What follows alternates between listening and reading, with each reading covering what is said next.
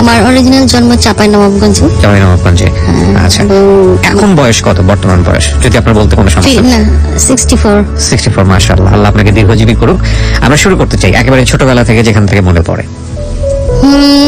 জন্ম তো যেখানে হয়েছে শুনেন নানার বাড়িতে চাপাই নবাবগঞ্জ তারপরে আমার মা যেখানে ওখানে স্কুলে চাকরি করতেন সেই তো আমার মা মায়ের সাথেই থাকতাম আমার বাবা চাকরি করতেন। তিনি দিনাজপুর তারপরে এই সমস্ত এলাকায় ঠাকুরগাঁয় এই সমস্ত এলাকায় বাবা চাকরি করতেন। আচ্ছা। তারপরে বড় হয়ে আমরা যখন বড় হলাম স্কুলে ভর্তি হওয়ার একটা ব্যাপার আছে তখন আমরা রাজশাহী শহরে শিফট করে গেলাম সবাই বাবা কি ভাই বোন। করতেন? মানে বাবা আমার বাবা ল্যাবরেটরি স্কুলে হেডমাস্টার ছিলেন। টিচার ছিলেন। টিচার ছিলেন। আমার আচ্ছা। মাও টিচার ছিলেন। কয় ভাই ছিলেন। আমরা সাত ভাই বোন অ্যাকচুয়ালি।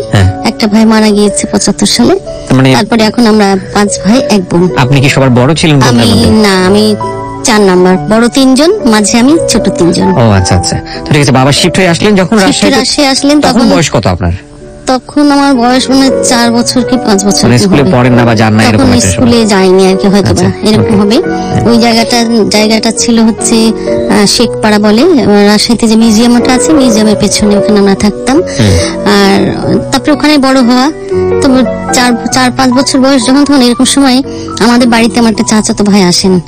কি বলে মাঝারুল হান্নান খোকা বড় ভাই আমাদের বংশের মধ্যে হ্যাঁ। সারা বংশের মধ্যে উনি সবচেয়ে বড়। এই চার পাঁচ বছর বয়সে তখন আমার চাচাতো ভাই আমাদের বাসায় এসে আসলেন উঠলেন সেই শেখপাড়ার বাসাতে উনি একটা জায়গায় চাকরি করতেন। আচ্ছা। এবং উনি খুব গান গাইতে পারতেন ভালো। আচ্ছা। এবং উনি একটা স্কুলে ভর্তি হয়েছিলেন সুরবানী সংগীত বিদ্যালয়।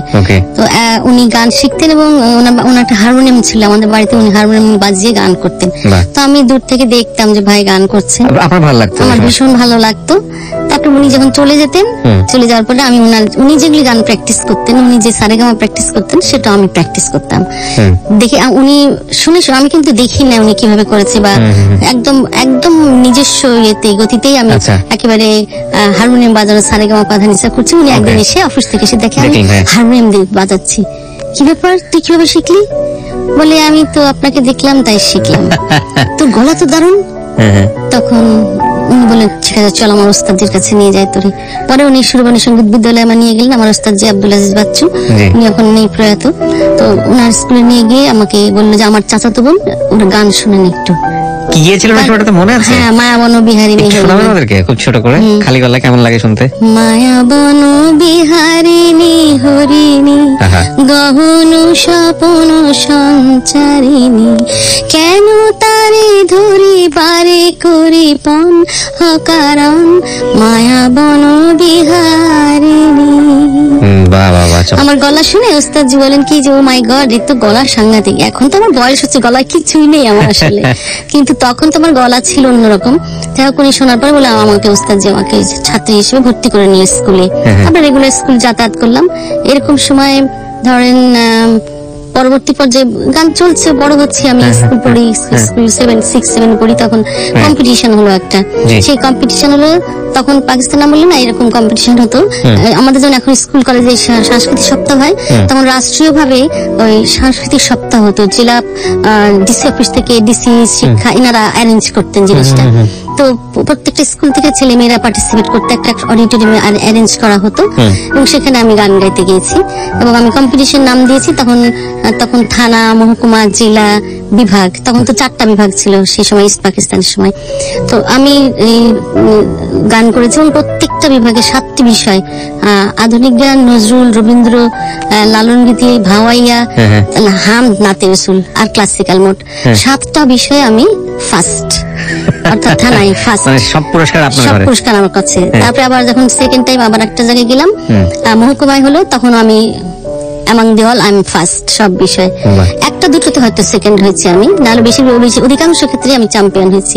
এর পরবর্তী পর্যায়ে আবার বড় হলাম যখন আরেকটু বড় এইট নাইনে পড়ি তখন আবার একটা সারা দেশব্যাপী ইস্ট পাকিস্তান পুরোটাই কম্পিটিশন হবে এরকম হলো। এইরকম ভাবে স্তর স্তরে হতে হতে কিন্তু আমি বিভাগে চ্যাম্পিয়ন হলাম। কিন্তু ইস্ট পাকিস্তান চ্যাম্পিয়ন হতে আমি পারিনি এই কারণে তখন তখন ওই সময়টাতে ক্লাস নাইন টেনে বোধহয় পড়াশোনা কিছু একটা ছিল। ওই জন্য আর হয়নি। তো সেই সময় নুরুন্নাহ লাভলি আপা বলে একজন উনি চ্যাম্পিয়ন আচ্ছা। তারপরে আমি এসএসসি পাশ করলাম। উনিশশো একাত্তর সালে মুক্তিযুদ্ধের সময় আমরা অর্গানাইজার হিসেবে সংগীত শিল্পী হিসেবে পাড়ায় পাড়ায় সংগঠন সংগঠিত করেছি মানুষকে এই কাজগুলিও করেছি। পরবর্তী পর্যায়ে বাংলাদেশ স্বাধীন হওয়ার পরে এসএসসি পাশ করলাম কলেজে ভর্তি হলাম ইন্টারমিডিয়েট পাশ করলাম অনার্সে ফার্স্ট ইয়ারে ভর্তি হলাম। আমার মায়ের ছোটবেলায় একটা বন্ধু ছিল তার বাড়ি হচ্ছে মুন্সিগঞ্জ পোস্ত বাউসিয়া তো আমার মা কলকাতায় পড়াশোনা করতেন তেতাল্লিশ সালে। তার বান্ধবী সেই সময়কার তেতাল্লিশ সালের বান্ধবী। তাদের তাদের বাড়ি ময়মনসিং তাদের তাদের সাথে যে আসা যাওয়া ছিল সেগুলো ছোটবেলায় এগুলো আমরা অতটা গুরুত্ব দিইনি জানিও না বলতেও পারব না। আমার বাবা উনিশশো তেষট্টি সালে যখন ইয়েতে গেলেন ইংল্যান্ডে গেলেন এডিনবরায় হায়ার স্টাডি করতে ওই সময় আমার মায়েরা আমরা সবাই মিলে ঢাকায় এসেছিলাম।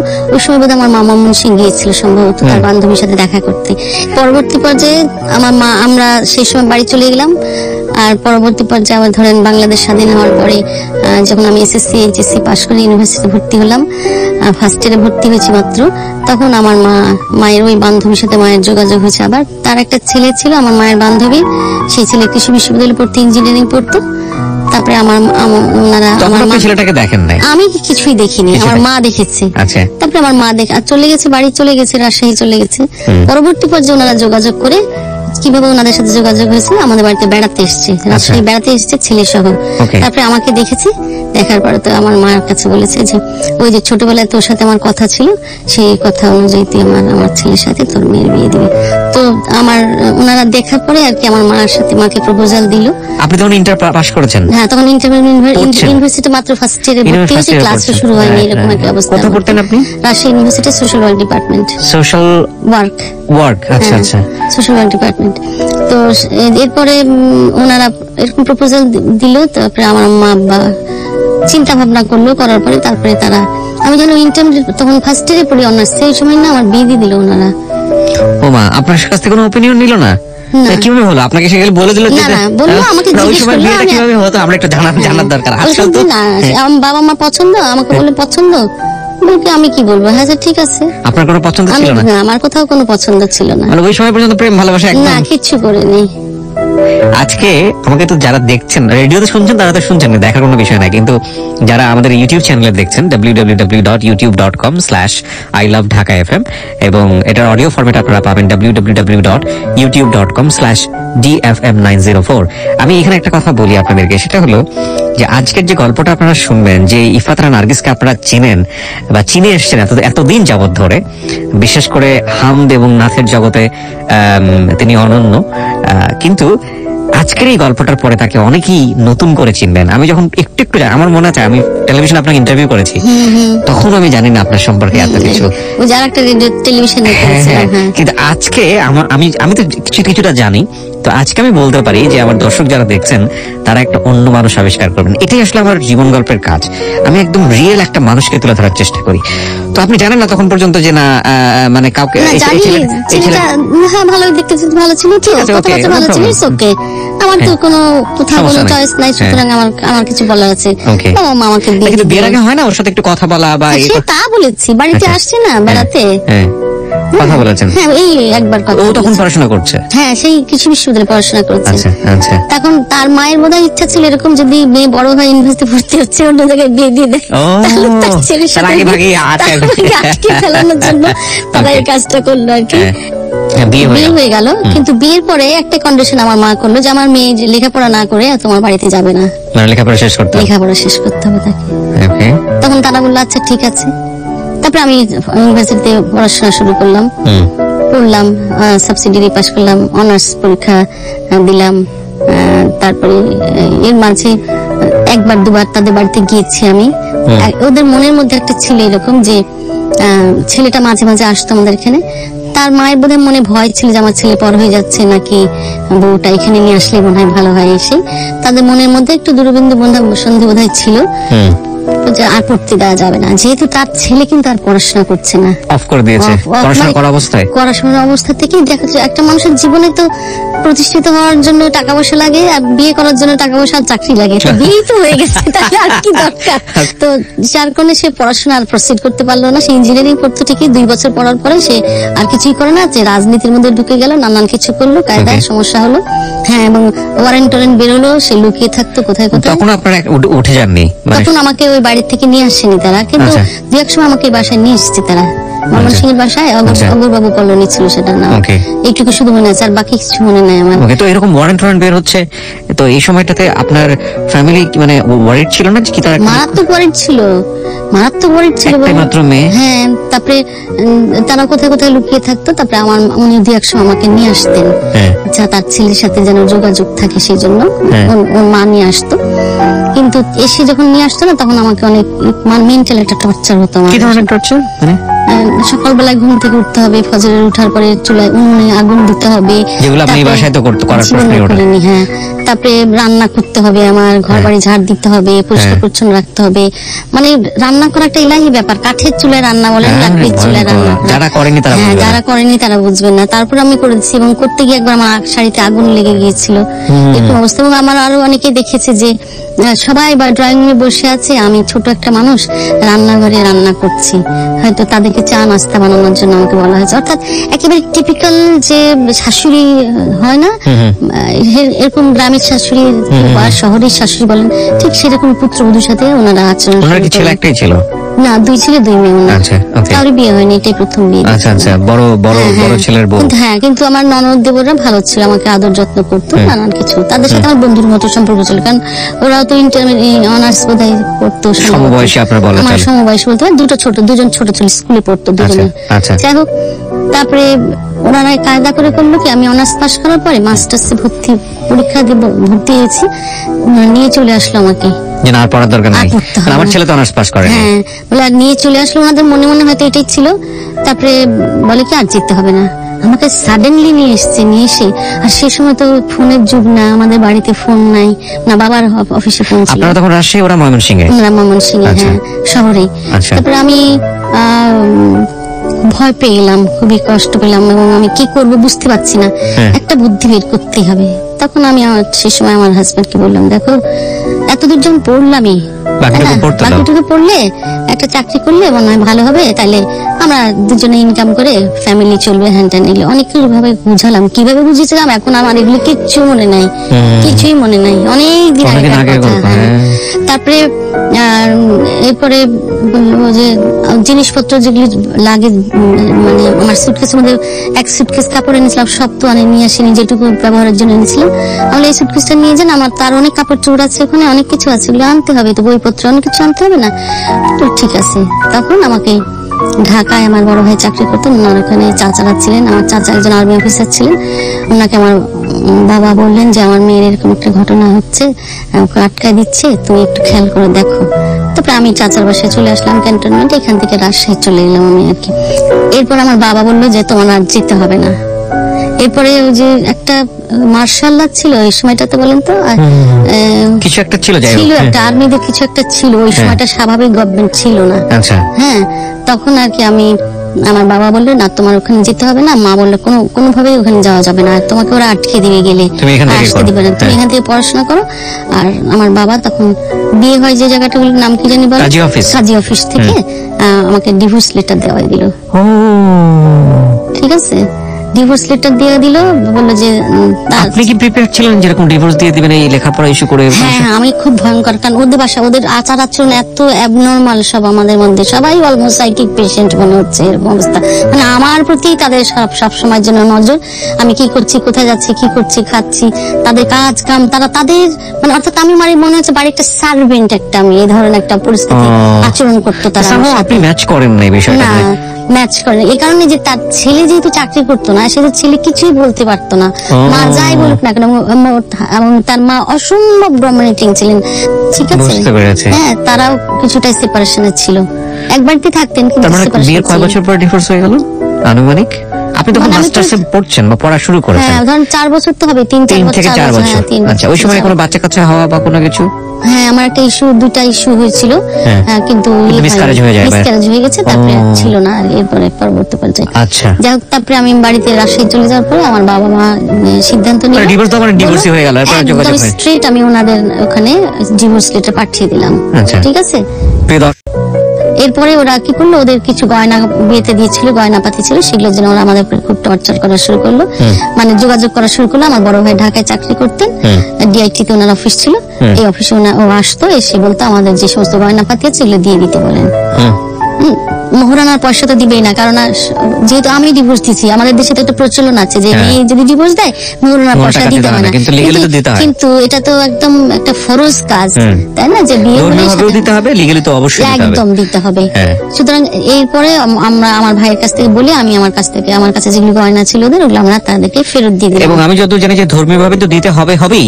প্লাস হচ্ছে মানে ডিভোর্স যদি দিতে হয় তাহলে বলা হচ্ছে যে যত পারো সম্পদ দিয়ে দাও যত পারো প্রপার্টি তাকে দিয়ে দাও।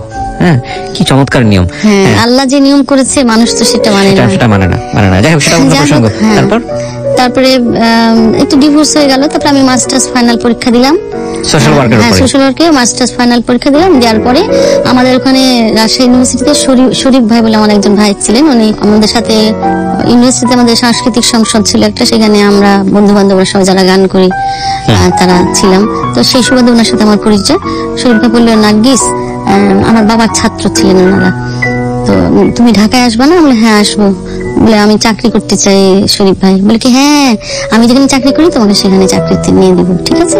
উনি তখন বিআইডিএসে চাকরি করতেন। আচ্ছা। আমি তখন ওনার সাথে যোগাযোগ করে কীভাবে যাই হোক যে যেভাবে হোক ওনার সাথে আমার একটা যোগাযোগ হয়েছে। আমি বিআইডিএস এ গিয়ে ওনার সাথে যোগাযোগ করে আমি একটা অ্যাপ্লিকেশন করলাম আমাকে বিআইডিএস ওনার ফিল্ড করেসপন্ডেন্ট হিসেবে অ্যাপয়েন্টমেন্ট দিয়ে দিল। ঠিক আছে আমি ডক্টর মনোহর হোসেন চেয়ারম্যান ওনার সাথে কাজ করেছি। ডক্টর মান্নান ওনার সাথেও কাজ করেছি। ফিল্ড করেসপন্ডেন্ট হিসেবে এবং সারা বাংলাদেশ ট্যুর করেছি আমি তখন। অর্থাৎ পরবর্তী পর্যায়ে এখানে চাকরিতে জয়েন করলাম। কিন্তু থাকব কোথায়? চাকরিতে জয়েন করলাম থাকার একটা ব্যবস্থা লাগবে। এটা কি ঢাকাতে ছিল? হ্যাঁ এটা ঢাকাতে দিস তো ঢাকাতে। আচ্ছা হ্যাঁ আসলাম এখানে চাকরি নিয়ে।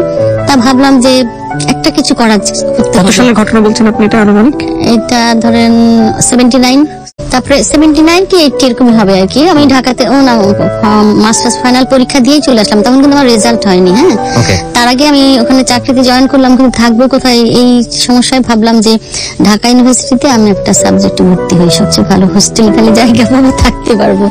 তারপরে আমি ঢাকা ইউনিভার্সিটিতে আবার আমি এখানকার শিল্পী হিসেবে শিল্পী কোটায় আমি ভর্তি হলাম সোশিয়োলজিতে আচ্ছা। আমার বাবার ইচ্ছা ছিল আমি জার্নালিজম পড়ি কিন্তু আমি চান্স পাইনি চার নাম্বারের জন্য। পরবর্তী পর্যায়ে সোশ্যোলজিতে ভর্তি হলাম আমি। সোশ্যোলজি ভর্তি হওয়ার সুবাদে আমি একটা ঢাকা ইউনিভার্সিটি ছাত্রী হিসেবে শামসুনা হলে আমি একটা সিট পাইনি। চেষ্টা করে আর কি বিভিন্ন রাজনৈতিক দলের মেয়েদের মাধ্যমে হ্যাঁ, হ্যাঁ। একটা সিট পেলাম আমি একশো উনিশ নাম্বার রুমে আচ্ছা। সেখানে আমি থাকলাম। তখন আপনি কি করছিলেন ঢাকা তখন ইউনিভার্সিটি আমি ঢাকা ইউনিভার্সিটিতে সোশ্যোলজিতে মাস্টার্স করছিলেন আবার আচ্ছা ওকে সাইমালটেনিয়াসলি চাকরিও করছিলাম। চাকরিও করছিলেন। অর্থাৎ পড়াটা মুখ্য নয় মুখ্য হচ্ছে seat থাকার পাওয়া। আমার মুখ্য ছিল। ওকে হ্যাঁ তারপরে? আমি এই হোস্টেলে থাকি। আর হচ্ছে বিআরডিসি চাকরি করি। হ্যাঁ।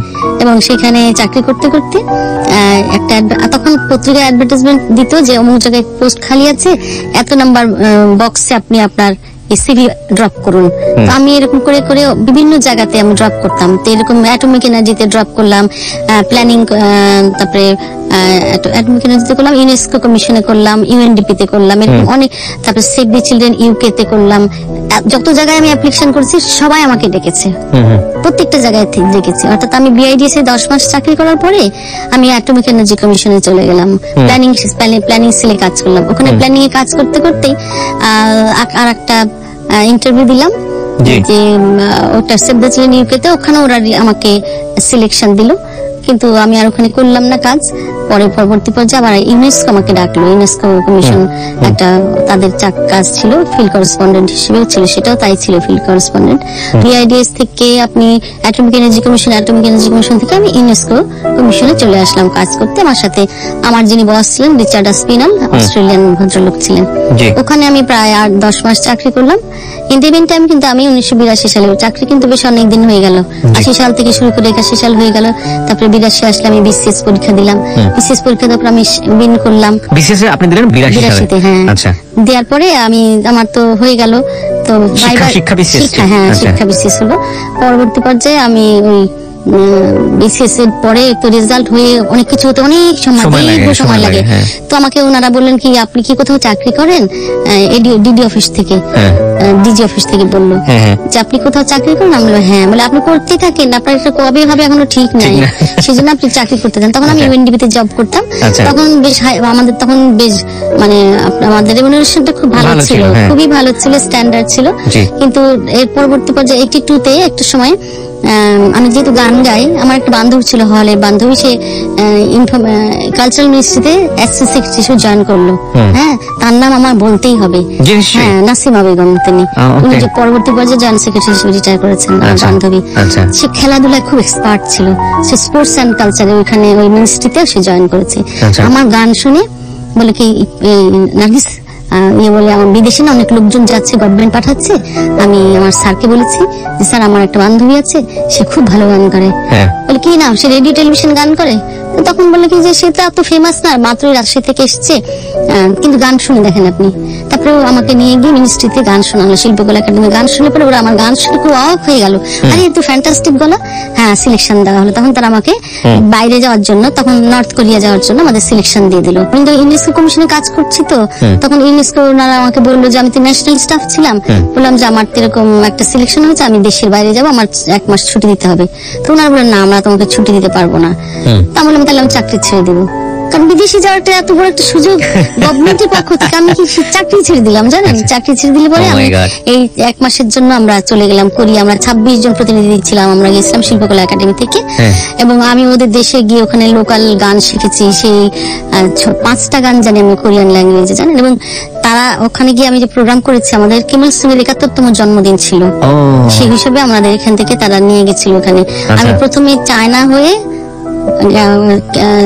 ক্যান্টনে প্রথম আমরা নামলাম। প্রথম বিদেশ যাত্রা এটা প্রথম বিদেশ যাত্রা আমার আচ্ছা, আচ্ছা। পক্ষ থেকে প্রথম। আচ্ছা তো আমি এই যে এই প্রসঙ্গে একটু কথা বলে রাখি। ছোটবেলায় আমি স্বপ্ন দেখতাম যে আমি একজন সিঙ্গার হব। অনেক বড় যেখানে বড় বড় মঞ্চে স্টেজে আমি গান করব নাম করা শিল্পী হব। তো এটা মানে আমার ঘুমিয়ে স্বপ্ন নয় সত্যি মনে মনে স্বপ্ন ছিল। এবং একদিন স্বপ্নে দেখি যে আমি শিপে করে ওই যে জলযোগে আর কি শিপে করে আমি কোন চীন দেশ চলে যাচ্ছি।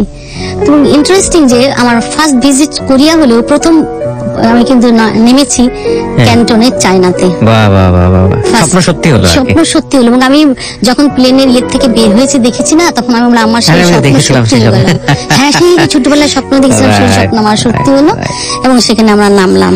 এবং সেখান থেকে প্রোগ্রাম করলাম ছাব্বিশ দিন আমরা প্রোগ্রাম করলাম অর্থাৎ আমি চাকরি ছেড়ে দিয়ে কোরিয়া চলে গেলাম। এক মাস থাকলাম ওখান থেকে ফিরে এসে তখন আমি ক্লাস করলাম। আচ্ছা। তখন আমি আর বিআইডিসি কোথাও তো আমার চাকরি নাই। তখন আমি এই মাস্টার্সে আমি ক্লাস করতাম সোশ্যালজি ডিপার্টমেন্টে ক্লাস করতাম। এখানে আমি আমার অনেকগুলি বন্ধু বান্ধব পেয়েছি। হ্যাঁ। সিফাত মনসুর তখন বিসিএস এর নিয়োগ হয়নি? না তখনও হয়নি। এক বছর দশ মাস পরে আমার পোস্টিং হয়েছে।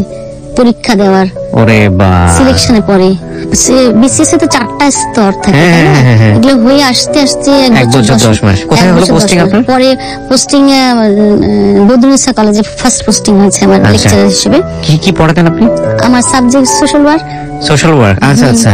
তারপর? ইচ্ছা ছিল যে আমি অ্যান্থ্রোপোলজি পড়ব আসলে একটা পিএইচডি করব এই ধরনের একটা হায়ার স্টাডি করার একটা স্বপ্ন ছিল আর কি আমার। হ্যাঁ, হ্যাঁ। সেই জন্য এসে সোশ্যোলজি ভর্তি হলাম।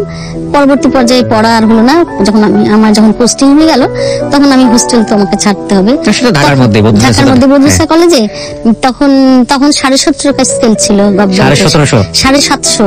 সাড়ে সাতশো মাত্র? মাত্র, হ্যাঁ। তখন সাড়ে সাতশো টাকাতে মোটামুটি গরু টরু কিনে ফেলা যেত নাকি? না তখন এক কেজি চালের দাম চার টাকা ছিল।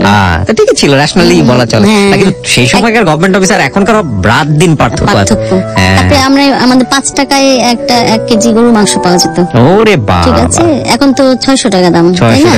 তো এই যে একটা ডিফারেন্স তা আমি ভাবলাম যে আমার চাকরি যখন যেহেতু নাই আমি তখন না ইয়েতে হোস্টেলে মানে যে সময়টুকু আমি ইন বিটুইন বলি আমার বিআইডিসি চাকরি ছেড়ে দেওয়ার পরে কোরিয়া যাওয়ার পরে আমার চাকরি নাই যখন তখন কিন্তু আমি ক্লাস করতাম রেগুলার এই সময় আমার অনেকগুলি বন্ধু বান্ধব হয়েছে আমার বন্ধু গোলাম কুদ্দুস আমার বন্ধু সিফাত মঞ্জুর গান করে তারপরে এর মধ্যে সাদিয়া আফরিন মল্লিক এরকম আরও অনেক বন্ধু বান্ধবীরা আমার আছে যাদের সাথে ফাহিমা খাতুন এরা আমাদের সব বন্ধু বান্ধব মাউসি ডিজি ছিলেন অনেক পরবর্তী পর্যায়ে।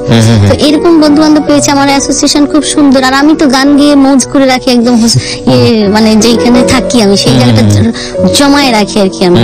তো এরকম পরে কলেজ জয়েন করে গেলাম তারপরে কোথায় থাকব? ওই যে হোস্টেল থেকে উঠে গিয়ে তখন নীল খেতে আমি একটা জায়গায় সাবলেট থাকতাম। সাড়ে সাতশো টাকা বেতন পেতাম আর ওই নীল খেতে একটা ঘর সাবলেট আমি পাঁচশো টাকা দিতাম। আড়াইশো টাকা আমার হাতে থাকতো। কিন্তু একটা আমার প্লাস পয়েন্ট ছিল। আমি যেহেতু গান গাইতাম। গান গিয়ে আমার অনেকগুলি পয়সা আমার হাত খরচ সব এসে যেত খাওয়া দাওয়ার খরচ টরচ সব আমাদের সোসাইটিতে হয় কি একটা বিয়ে হয়ে যাওয়ার পরে খুব তাড়াতাড়ি পরিবার থেকে চাপ দেয় যে আরেকটা বিয়ে যদি হয়ে যায় এরকম। আপনার ক্ষেত্রে কি হলো? না আমার ক্ষেত্রে এরকম ছিল বাবা মার একটা কিন্তু সেরকম একবার যেহেতু একটা দুর্ঘটনা ঘটে গেছে। সেহেতু তারা অপেক্ষা করছিল দেখা যাক কি হয়। আচ্ছা। তারপরে যাই হোক পরবর্তী পর্যায়ে আমি যখন একটু স্ট্যাবলিশড হয়ে গেলাম তখন ওই ওই জায়গাটাতে আমি থাকতাম নীল খেতে। আর সেখান থেকে রেগুলার ক্লাস করতাম বদ্রসা কলেজে এই করতে করতে ধরুন আমার এক বছর চাকরি জীবন হলো এক বছর ছয় মাস যখন। এরকম সময় আমার আমার একজন ইয়ে ছিল। আমি যখন ইউনেস্কোতে কাজ করতাম তখন ইউনিসেফের এক বড় ভাই বড় ভাই ছিলেন। উনি ওখানকার পিয়ারও ছিলেন আকিল খান। হ্যাঁ উনি আমাকে ধর্মবোন বানিয়েছিলেন। ওনার বাড়ি ছিল গোয়া। বাংলাদেশে ওনার কোনো আত্মীয় স্বজন ছিল না। কিন্তু উনি বিয়ে করেছিলেন খুব বড় একটা পরিবারে। সঞ্জিদা খাতুন আপার এক বোনের সাথে তার বিয়ে হয়েছিল। যে উনি দৈনিক বাংলার ফটোগ্রাফার ছিলেন। তো এই বড় ভাই আর কি আমাকে গুরু মানে ইয়ে বোন মানে ধর্ম বোন বানিয়ে তখন বলল ইফা তুমি একা একা ঘুরে বেড়াও আমার খারাপ লাগে। তুমি বিয়ে করবা? তুমি বিয়ে করবা? আমাকে উনি সারাক্ষণ এই একটা কথাই বলতো। বললাম যে আপনি তো জানেন আমার এরকম একটা বিয়ে হয়েছিল আগে তো সেটা চিন্তা করেন তারপরে আপনি বলেন। না আমার একটা ভাই আছে আমি তোমাকে দেখাবো ঠিক আছে? তুমি ওনার ইউনিসেফ একটা প্রতিদিন লাঞ্চে অফিস থেকে লাঞ্চ খাওয়ানো হতো আর কি। আমার ইউনেস্কো তো তাই ছিল হ্যাঁ? ওখানে লাঞ্চ খাওয়ানো হতো ইভিনিং টি মর্নিং টি সব হতো আর কি। তো তুমি এসো। তো একদিন ওনার অফিসে আমি গেলাম। তো গেলে পরে একজনকে দেখাল এক ভদ্রলোক আসলো। দেখাল কথা বলল চলে গেল দ্যাটস অল তারপরে আর কিছু উনি উনি কিন্তু আমাকে বলেন না যে কেউ তোমাকে দেখতে আসবে কিংবা এই ধরনের কোনো আগে থেকে কোনো হিন্ট দেয়নি কিছুই বলেনি। তো সে কথাবার্তা বলে বেশ ভালোই কথাবার্তা বলে বেশ কথা জমিয়ে রাখতে পারে এইরকম। তারপরে ভাইয়া বলল কয়েকদিন পরে এরপরে আমি বললাম আকিল ভাই এই ভদ্রলোক প্রায় আসে কেন অফিসে তো বলে কি যে তোমাকে দেখতে আসে। তাই নাকি? কেন? তখন আপনি ইউনিসেফে তখন ইউনিসেফে নাই কিন্তু আমি লাঞ্চ আওয়ারে ইউনিসেফে চলে আসতাম। সাতাশ নাম্বার আমার অফিস আর ইউনিসেফ হচ্ছে তেরো নাম্বারের আচ্ছা আচ্ছা? মানে জয়েন করে ফেলছেন বিসিএস এ বা হ্যাঁ, না কোথাও জয়েন করিনি আমি। তখন কোথাও জয়েন করেন নাই? তখন আমি না তখন আমি ইউনেস্কোতে কাজ করি কিন্তু জয়েন করি মানে বিসিএস জয়েন করেন নাই না তখনই জয়েন করিনি কিন্তু আচ্ছা, আচ্ছা। ইউনিসেফে কাজ করতাম। ওই সময়কার ঘটনা আপনাকে আচ্ছা, আচ্ছা, বলছি। একটু ফ্ল্যাশব্যাকে গেলাম আপনাকে. তো সেটা হচ্ছে যে উনাই আমার সাথে এই পরিচয় করে দিয়েছিলেন ওই ভদ্রলোকের সাথে তো পরিচয় হয়ে থাকল। তারপরে পরবর্তী পর্যায়ে আমি যখন ইউনেস্কো চাকরি ছেড়ে দিয়ে আবার কলেজে জয়েন করলাম বদ্রিসা কলেজে জয়েন করলাম এক বছর হয়ে গেল। তখন উনি ফোন দিতে ইফাত তুমি আসো আমার এখানে লাঞ্চ খেতে আসো তোমাকে তো মনে পড়ে তুমি এখানে থাকতে আসতে প্রায় মাঝে মাঝে আসো। তা ওনার ওখানে আমি যখন যেতাম তখনই দেখি ভদ্রলোক আসতেন। প্রথমে আমি বুঝি নাই পরবর্তী পর্যায়ে আমাকে চলে যাওয়ার পর পরবর্তী পর্যায়ে বলল যে ইফাত এরকম তুমি তো একা একা ঘুরে বেড়াচ্ছ আমার তুমি আমার বোন আমার ধর্ম বোন তোমার জন্য আমার একটা কিছু চিন্তা করতে হয়। তো আমি আঙ্কেল আন্টির সাথে কথা বলব। এরকম বলেছে। বলে বলবেন? বলে কি হ্যাঁ কার জন্য বলবেন? বলে, এই যে ভদ্রলোক আসে এটা কি তোমার পছন্দ হয়নি? হ্যাঁ ভালোই তো বেশ কথাবার্তা বেশ মজার সুন্দর। তো জমিয়ে রাখতে পারেন খুবই ভালো। বলে হ্যাঁ সে আমার খুব জুনিয়র বন্ধু কিন্তু সত্যি আমার সাথে আর খুব ভালো ফ্রেন্ডশিপ তখন আর কি আকিল ভাই আমাকে প্রেস ক্লাবে নিয়ে যেত। মাঝে মাঝে উনি আসতে বলতো তুমি এসে নাস্তা খেয়ে ওখানে আমার সাথে গল্প করে কথা বলে। উনি কার্ড খেলতেন রেগুলার ইয়েতে কি বলে প্রেস ক্লাবে এই সুবাদে ফ্ল্যাশব্যাক আমি একটা কথা বলি রাখি। আমি যখন ইউনিভার্সিটি পড়ি তখন আমি তো গান করে পয়সা আমি আর্ন করি। আমার রুমমেট টুমমেটরা অনেকে আছে যাদের বাড়ির থেকে পয়সা আসতো না তারপরে দেরি করে আসতো তখন আমার কাছ থেকে টাকা ধার নিত। তো এরকম একটা ঘটনা একদিন ঘটেছে যে আমার কাছে টাকা একশো টাকা আছে ও চেয়েছে আমার কাছে আর ভাঙতি নাই আমি ওকে একশো টাকা দিয়ে দিয়েছি। আমার পকেটে হয়তো পাঁচ দশ টাকাও আছে এরকম। তো আমি ওই দিন আমার বড় ভাই আবার নারায়ণগঞ্জে থাকতেন আমি বড় ভাইয়ের বাসায় যাচ্ছি। সে তখন শাহবাগ থেকে এ, একটা বাস ছিল মোহাম্মদপুর টু নারায়ণগঞ্জ। ওই বাসে উঠে যাচ্ছি।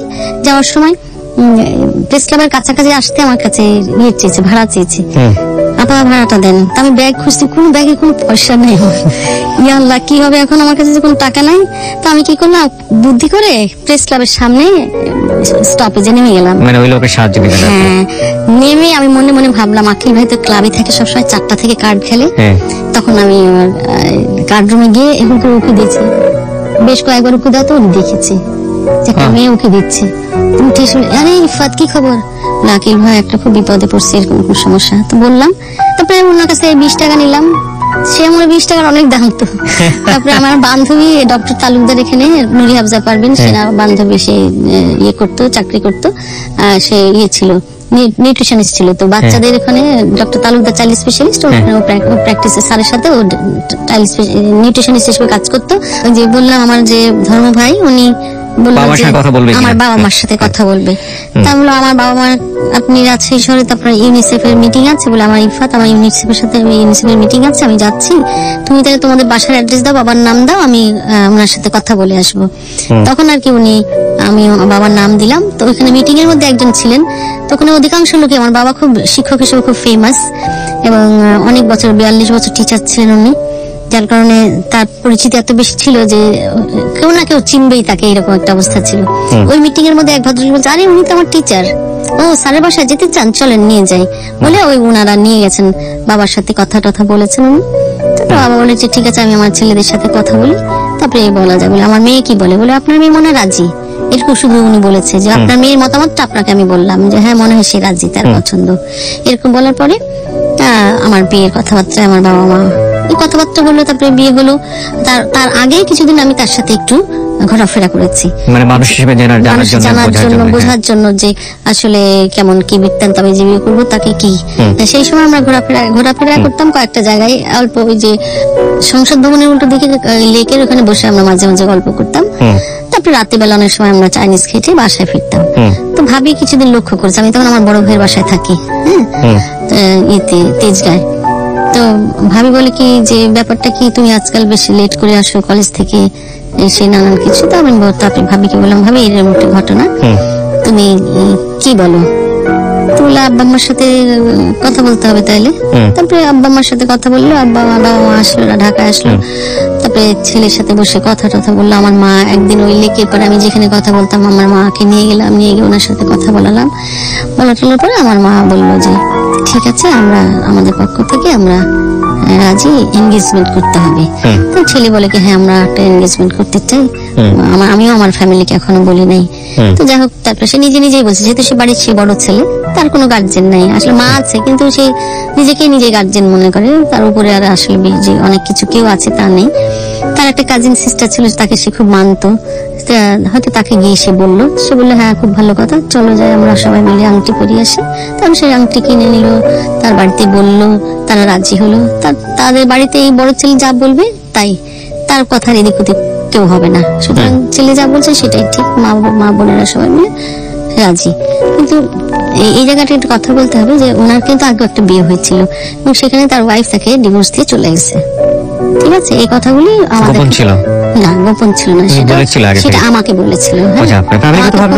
না বলেনি কিন্তু আমাকে প্রথমে বলেছিল বলার পরে আমার ভাই আমি আমার ফ্যামিলিকে বললাম তারা বলল আচ্ছা ঠিক আছে। তো আপনারও আছে। হ্যাঁ, সেজন্য তারা উনি জানতো আপনার বিষয়গুলো উনি জানতো? হ্যাঁ হ্যাঁ সব জানতো, balance না, না, ছিল। কোনো কিছু গোপন করা হয়নি। ওকে ফাইন পরবর্তী পর্যায়ে তখন আমাদের এই এনগেজমেন্ট হলো সতেরো ডিসেম্বর উনিশশো চুরাশি সাল। আচ্ছা আচ্ছা। তারপরে ওনারা টাইম নিল বলল যে আমরা এত তাড়াতাড়ি আমি বিয়ের গোছাতে পারব না কারণ আমি যে চাকরি করি তাতে খুবই স্বল্প বেতনে আমি চাকরি করি আমার পক্ষে ছয় মাসের আগে বিয়ে করা সম্ভব না আমাকে। বিয়ে মানে কি? তুলে নেওয়া সম্ভব না? না না তখন না বিয়েই করেনি তখন শুধু মানে করা হলো। হ্যাঁ। ওদের- বাড়ি- থেকে ওরা সবাই আসলো মামা শ্বশুর আসলো নানাসরা আসলো শাশুড়ি সবাই আসলো। আসার পরে এনগেজমেন্ট হলো। ধরেন বিশ পঁচিশ তিরিশ জন লোক মিলে বাড়িতে একটা আয়োজন হলো। মোটামুটি তারা আমাকে একটা শাড়ি সুন্দর এক সেট শাড়ি দিল একটা আংটি দিল তারপরে এরকম কথা হতো। তখন তো ল্যান্ড ফোন ছিল ল্যান্ড ফোনে আমার সাথে কথা হতো আমার ভাইয়ের বাসার থেকে।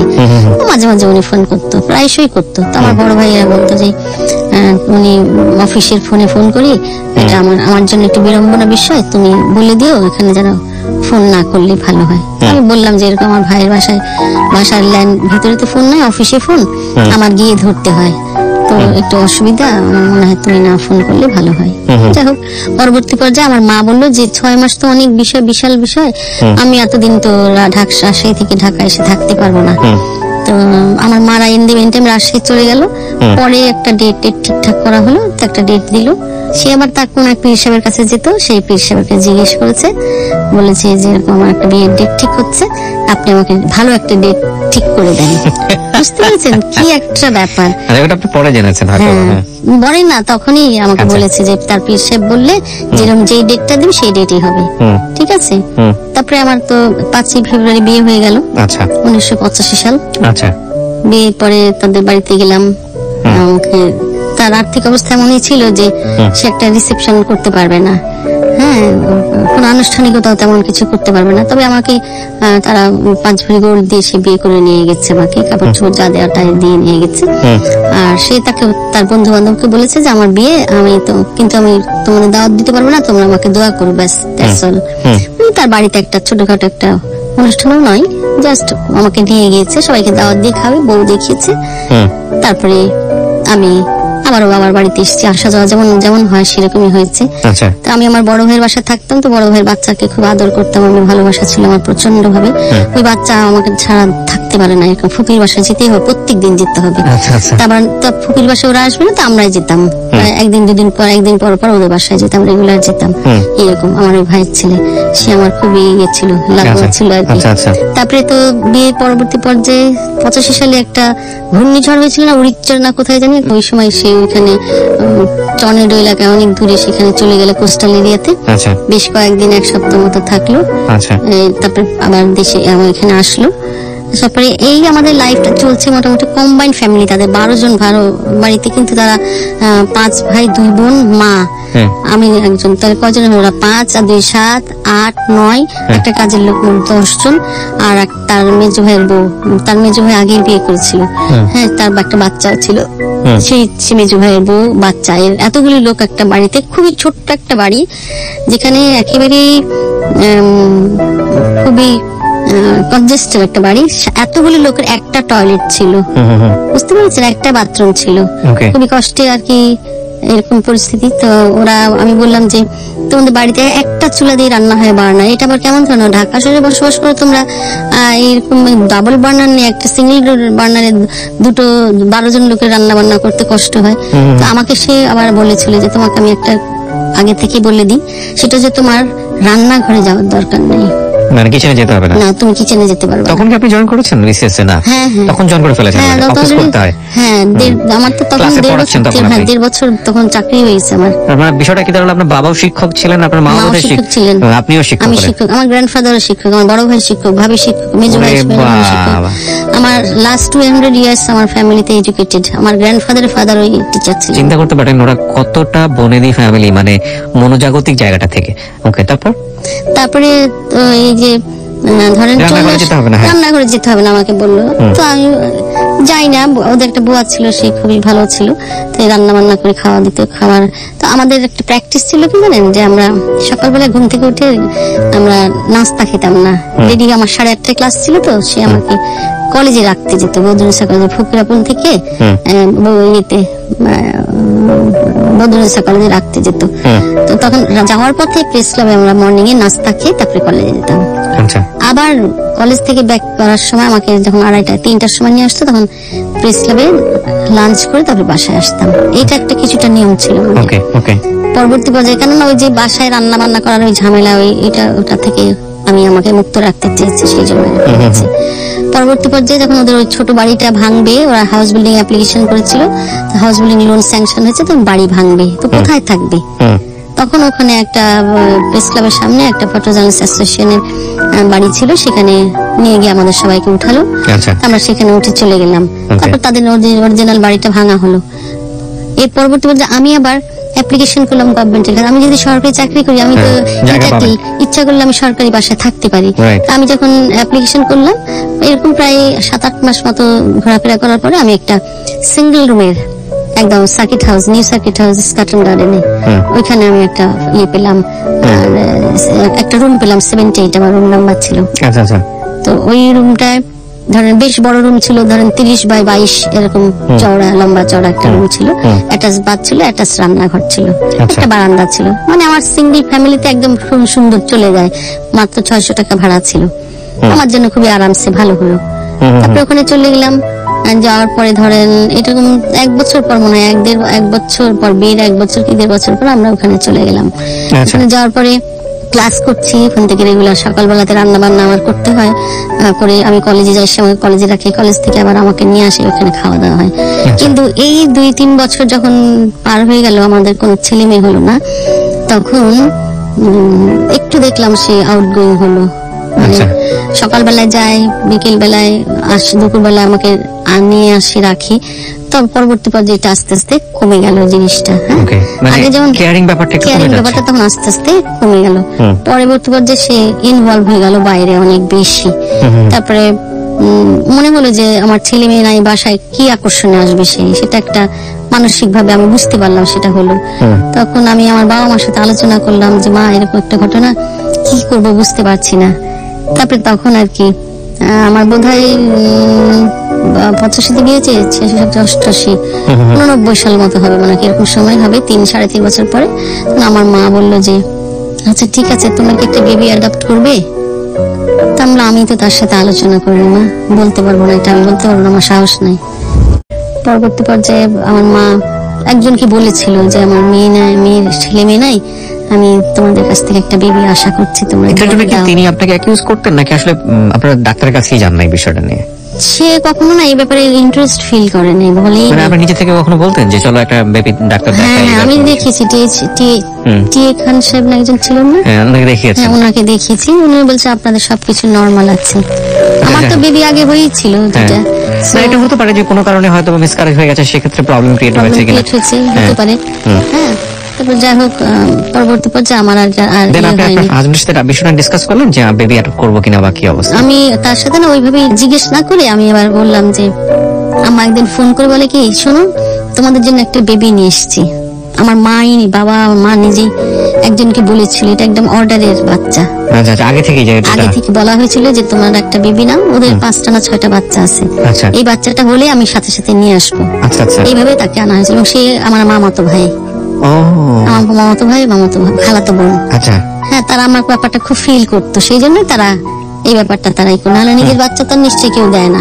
ওরা আমার জন্য আমার বোন যেহেতু আমার ভাই যেহেতু তারা আমার জন্য ফিল করেছে সেই জন্য তারা আচ্ছা। তৈরি করে বেবিটা আমার মার কাছে দিয়ে দিয়েছে। আমরা তখন যখন তাকে বলেছি তখন সে খুব খুশি হয়ে গেছে। তখন কিন্তু সে আর না করে নাই। আচ্ছা। তখন আর কি ইন দি টাইম আমাদের সে মোটরসাইকেল কিনেছে সেটাও আমি কিনে দিয়েছি। আবার এরপরে আমরা একটা গাড়ি কিনেছি এই পান্না কাছ থেকে। তারপরে আমাকে বলল যে চলো আমরা কাছে মানে স্যারের মা জি কাইসারের মা। আমার কলিগ ছিলেন উনি। কলেজে আমার কলিগ ছিলেন অনেক বছর। ওকে। হ্যাঁ ওনার সাথে আমার খুব হৃদ্যতা ছিল ভীষণ আপন বোনের মতো। এখনও আছে হ্যাঁ। আচ্ছা তারপরে আমার বাসায় খুব আসা যাওয়া ছিল। মাশাআল্লাহ ঠিক আছে তারপর? তারপরে আমরা তারপরে বললাম যে আম্মা এরকম আমাদের জন্য একটা বেবি নিয়ে এসছে চলো যাই নিয়ে আসি। হ্যাঁ চলো যাই খুব খুশি সে। তারপরে গাড়ি চালায় আমরা নিয়ে চলে আসলাম। বাড়ি গেলাম সেখান থেকে আমরা বেবি নিয়ে আসলাম। নিয়ে আসার পরে সে তার মা বাবা ভাই বোন সবাইকে খবর দিল। তারা সবাই খুব খুশি। ঠিক আছে তারা কিন্তু কেউ অখুশি নয় প্রত্যেকে খুব খুশি। আচ্ছা। তারপরে এই তো বেবি নিয়ে চলে আসলাম। অতটুকু ছোট্ট একটা বেবি সেটা একেবারে বড় হলো। দিনে দিনে তাকে প্রচণ্ড ভালোবাসতো সে। প্রচণ্ড ভালোবাসতো আমার মেয়েটাকে। আর কি বলব আশপাশে প্রতিবেশীরাও সবাই খুব আদর করতো। দেখতে খুব সুন্দর ছিল সে। ভীষণ সুন্দর ছিল। তো এই দিন গেল তারপর পরবর্তী পর্যায়ে আস্তে আস্তে দেখি আমার মেয়ে বড় হচ্ছে ঠিকই কিন্তু আমার মানে আমার হাজবেন্ডের কিন্তু আউটগোয়িং ব্যাপারটা বেড়ে যাচ্ছে আস্তে আস্তে। আচ্ছা। আস্তে আস্তে বাড়ছে। এবং সে তখন আমাকে একেবারেই কেয়ার করছে না। একদিন এরকম এরকম হয়েছে যে সে আমাকে উইদাউট এনি ইনফরমেশন সে রাত্রি সাড়ে এগারোটা বারোটা বাজে শীতকালের দিন নভেম্বর মাস তখন সে বাসায় আসে নাই। তখন আমি তার এক কলিগের কলিগের বাসায় ফোন করেছি। তখন ভাবিকে বললাম ভাবি আপনি কি জানেন আপনার ভাই ভাই কোথায় গেছে? আপনার হাজবেন্ড কোথায় গেছে? বলে হ্যাঁ জানি তো। আজকে তো জার্মান এম্বাসিতে ককটেল পার্টি আছে ওখানে গেছে। আচ্ছা, এগুলো বলে যেত না না কোনোদিন কখনো আমাকে বাসা থেকে বেরোনোর সময় বলে যেত না? কোথায় যাচ্ছে? মানে। প্র্যাকটিসই ছিল না বিষয়গুলো? এই বিষয়টা প্র্যাকটিসই ছিল না। আচ্ছা। তো আমাদের যেমন আমি এখনও বাড়ি থেকে বেরোলে আমি আমার কাজের মেয়ে বাসায় আছি আমি তাকে বলে আসি। আমি আজকে এখানে আমি যাচ্ছি। এখন বেশ বের হচ্ছে আমি রেডিওতে যাচ্ছি। তো এরকম কিন্তু তাদের কোনো ওই বাড়ির কোনো প্র্যাকটিস নাই বোধ হয় এরকম। হয়তো ফ্যামিলি প্র্যাকটিস নাই আর কি তাদের। এই জন্য সে বলে কখনো যেত না। তবে আমার যখন আমার মেয়েকে যাওয়ার সময় আর কি মেয়ে হয়তো সি অফ করার জন্য গেটে গেছে তখন হয়তো টাটা টাটা বাই বাই বলল খোদা হাফিজ বলল। তখন বলতো মেয়েকে কিন্তু সে রেগুলার বলতো ঠিক আছে? কিন্তু আমাকে কখনো বলতো না। হয়তো আমি যদি ঘরে আছি বলে যেত নাই আমি বেরোচ্ছি আমি যাচ্ছি কোনোদিন বলতো না। আমি স্কার্টন গার্ডেন ওই বাসায় থাকলাম অনেকদিন।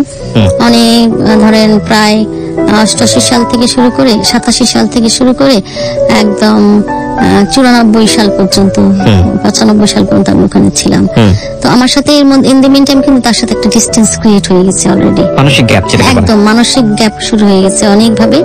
সেটা হচ্ছে সে অনেক বেশি টাইম বাইরে স্পেন্ড করে। এবং আমি ফোন করি বা অফ- অফিসে ফোন করি যে Bangladesh Times office land phone তখন ফোন করি যে উনি কোথায়?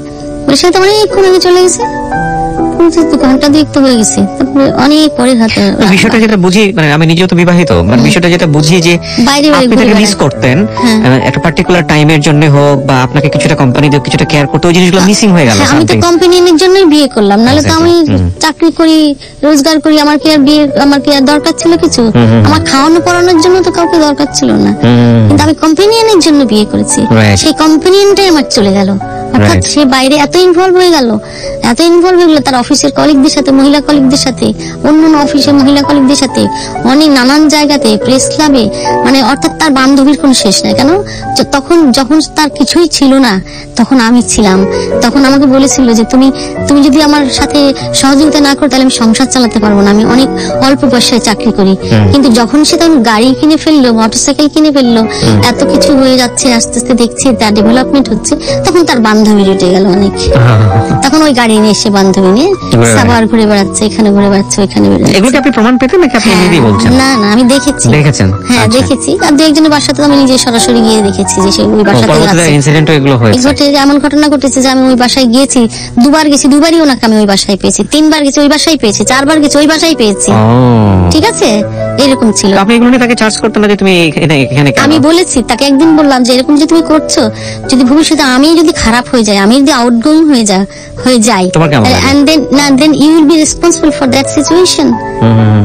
তখন আমার কোনো দোষ থাকবে না কিন্তু আমি বলে দিলাম যখন এই কথাগুলো আমি বলতাম তখন কিন্তু সে আহ, কয়েকদিন ঠিক থাকতো তারপরে আবার সে এরকম চেঞ্জ হয়ে যেত কারণ ওই যে বাইরের লোকজন তাকে খুব নক করতো অনেক বেশি আচ্ছা।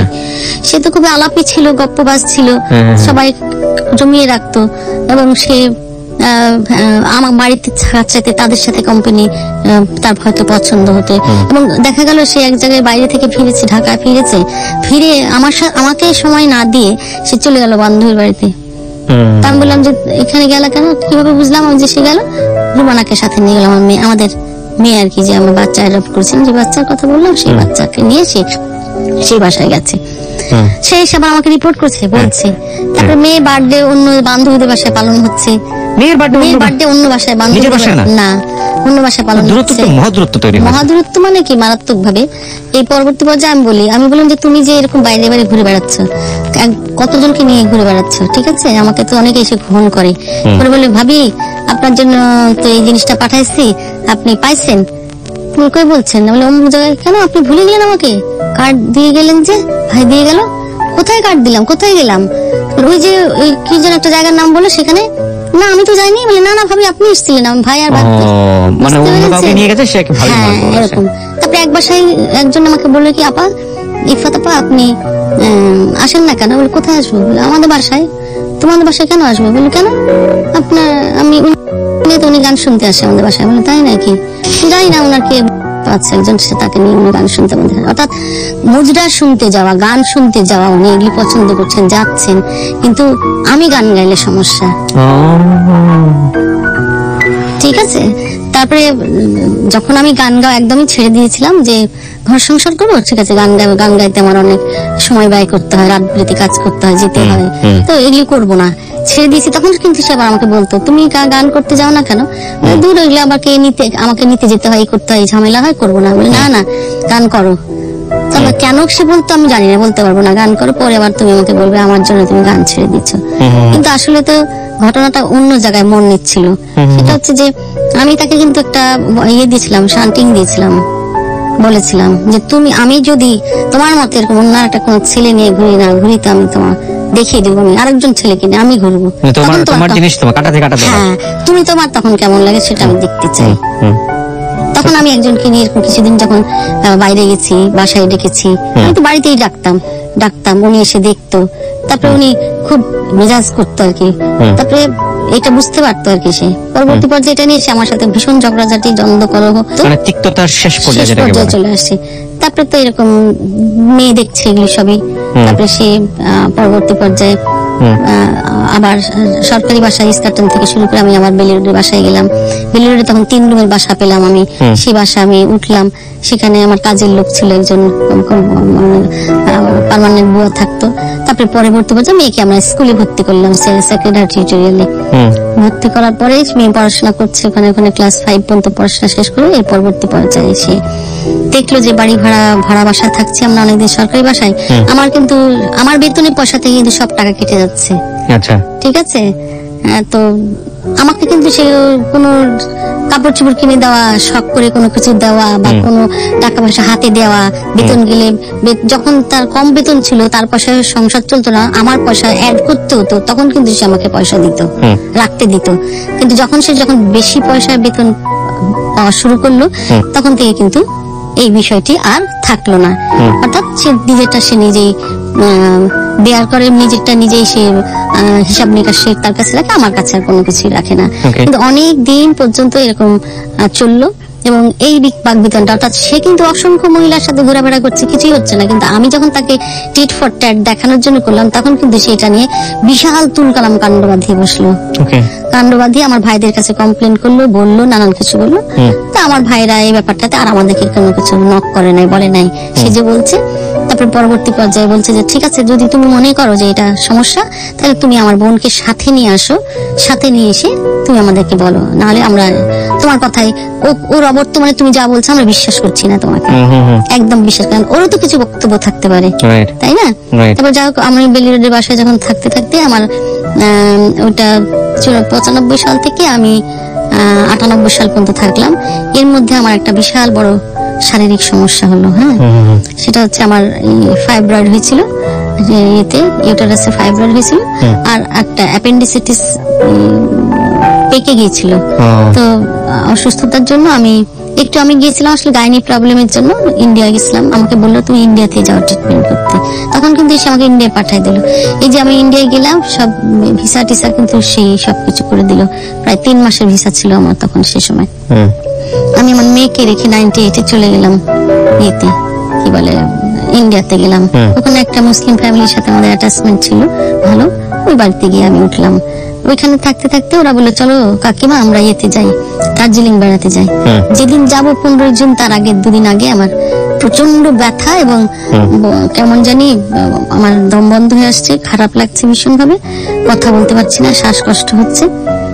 তুমি তাড়াতাড়ি চলো আমি তোমার বাংলাদেশে আমি কথা বলব তোমার কাকুর সাথে কথা বলব। আমি তো মনে হয় বাঁচবো না মনে হচ্ছে এরকম অবস্থা। আমি তো এত শ্বাসকষ্ট হচ্ছে আমি কথাই বলতে পারছি না। পরে টেলিফোনে কথা বললাম ওদের ল্যান্ড ফোন ছিল ফোনে কথা বললাম কথা বলার পরে আমি বললাম যে আমি আমি তো মনে হয় বাঁচবো না আমি মারা যাব তুমি আমাকে নিতে আসো। অবস্থা খুব খারাপ আমার। বলে কি হয়েছে? ডাক্তার দেখাও তাড়াতাড়ি। পরবর্তী পর্যায়ে সেদিন রাত্রেবেলা যখন দুদিন পরে সেদিন পনেরোই জুন ছিল। অ্যাটাক হলো মারাত্মক ভাবে অ্যাপেন্ডিক্স অ্যাটাক অ্যাপেন্ডিক্স বাস্ট হয়ে গেছিল তারপরে ওরা তাড়াতাড়ি করে হসপিটালে নিয়ে গেছিল হসপিটালটার নাম কল কলকাতা রিসার্চ ইনস্টিটিউট হ্যাঁ। তো আমাদের এখানে ইয়ের মতো পিজি হসপিটালের মতো আর কি একটা হসপিটাল ওখানে। তো সেখানে গেলাম। ওনার ডাক্তার আরবি চ্যাটার্জি তাকে দেখালাম। উনি দেখে এটা বলল? হাই হাই তো সর্বনাশ ব্যাপার। পরে ওনারা টেস্ট করল। বলল তো বিরাট বড় একটা ফাইব্রয়েড আছে আর এত ব্লিডিং হচ্ছে এত অবস্থা খুব খারাপ একটা বন্ধ ব্লিডিং বন্ধ করে তবে অপারেশন করতে হবে। তারপরে ওনারা দেখল যে হিমোগ্লোবিন আমার ফোর পয়েন্ট ফাইভে চলে এসছে যেখানে দশ বারো থাকার কথা। তারপরে বলল তুমি যদি রক্ত না দেওয়া হয় তাহলে তার অপারেশন করতে পারব না আমরা। তারপরে ওনারা আমাদেরকে যারা যে ভদ্রলোক আর কি আমাদের হেল্প করতেন ভদ্র মহিলা ওনারা ওখানে কলকাতায় ঠাকুর পুকুর এখানে থাকেন ওনারা। তো ওনারা কেয়ারের কেয়ার থেকে ওনারা মেডিসিন নিয়ে নিল ব্লাড নিল আট ব্যাগ আট ব্যাগ রক্ত লেগেছিল আমার। আট ব্যাগ রক্ত দিয়ে তারপরে অপারেশন হলো। তারপরে সেই অবস্থা থেকে কমায় অবস্থা থেকে। অপারেশনের পরে আমি তিন দিনের পরেই আবার কমায় চলে গেলাম প্রায়। এই সময়টাতে আপনার হাজবেন্ড কতটুকু সাপোর্ট করেছে? এই সময় তারা ফোন করেছিল। হ্যাঁ। তারা ফোন করলে পরে সে এসেছিল। আচ্ছা। ডাক্তার বলেছে অপারেশন করব কিন্তু পেশেন্টের হাজবেন্ড না আসলে আমরা করব না কারণ ওনার ডেড বডি নিতে হতে পারে। হ্যাঁ, হ্যাঁ। সেই জন্য তখন আমি আবার আল্লাহর কিষান দেখেন আমি যাওয়ার সময় না তাকে বলছিলাম আমার সাথে চলো যাবে না। গেল না কিন্তু আমি ওর ভিসাটা করে রেখে গেছিলাম। যদি যায়? হ্যাঁ। নিজে থেকে করে আমি নিজেই করে গেছিলাম কেন জানি যে ভিসাটা? আমাদের দুজনে সমস্যা হতো না, আমি আসলে একসাথে যাওয়ার জন্য ভিসা করেছিলাম হ্যাঁ। কিন্তু সে যায়নি আসে আমার সাথে গেল না আমি একাই গেলাম। ঠিক আছে? মেয়েকে রেখে। তারপরে আমি পরে ওনারা ডাক্তার নিজে কথা বলেছে ওনাকে ফোন করে যে আপনি আসেন আপনার ছাড়া তো অপারেশন হবে না দ্বিতীয় কথা হচ্ছে আপনার তো ডেড বডি নিতে হবে। তারপরে উনি অপারেশনের সময় দাঁড়িয়ে থাকল অ্যাবডোমেন ওপেন করল দেখে কি যে শুধু ফাইব্রয়েড নয় আমার ডান দিকে একটা সিস্ট আছে এবং অ্যাপেন্ডিসাইটিস বাস্ট হয়ে গিয়ে সমস্ত শরীরে ব্লাড ওই যে ক্লট ব্লাড ক্লট হয়ে ভিতরে জমা হয়ে খারাপ অবস্থা হয়ে গেছে। তারপরে উনি বললেন যে আমার তো এই অপারেশন করতে ওনার পৌনে পাঁচ ঘণ্টা সময় লেগেছে। এরপরে আমি হসপিটালে এক মাস আঠারো দিন ছিলাম ওখানে একাই ছিলাম। এবং ওই- অপারেশনের তিন দিন পরে আমার অবস্থা বেশি খারাপ ছিল তখন উনি আবার গিয়েছিল। উনি অপারেশনের পরে পরের দিন চলে আসছিল। তারপরে উনি জুন মাসে আবারও আবার আমার শারীরিক কন্ডিশন আরও খারাপ হয়ে গেল।